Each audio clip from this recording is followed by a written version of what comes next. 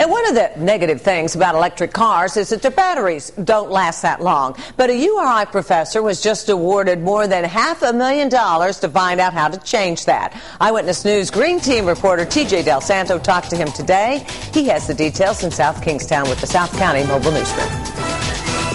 A $600,000 grant to the University of Rhode Island may help make electric vehicles more popular and, in turn, keep the air a whole bunch cleaner. Here at URI, Brett Lucht is a professor in the Department of Chemistry. He has been doing research on extending the lifetime of lithium ion batteries used in electric cars. That research will be extended thanks to the Department of Energy, which awarded the grant to Lucht.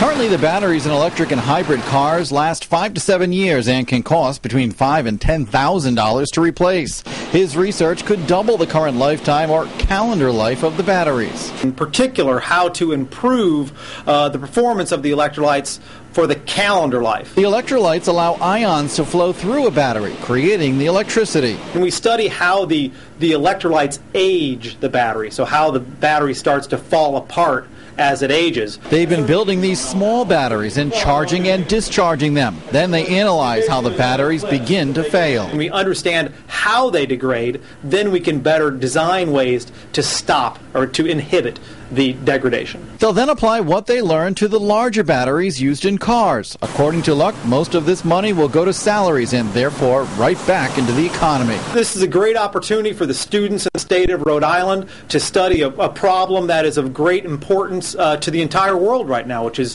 which is developing uh, you know better automobiles, which uh, use less energy or more energy conservation conserving and uh, produce less pollution.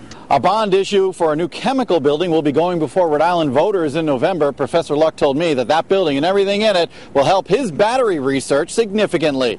I'm TJ Del Santo for the Green Team.